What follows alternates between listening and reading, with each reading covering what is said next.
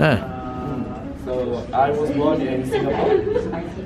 Ye- Uh, year 1987. November 13. Oh, you're Singaporean. I'm not Singaporean. You were born in Singapore. In Singapore. Ah, I'm Malaysian, okay. I've been working since year 2010. So Okay, okay, stop. You don't say I've been working since year 2000. I've been working since 2010. You don't need year. In Malay, saya dilahirkan di pada tahun. Uh, see, maybe in Chinese also use year, yeah. English you don't need.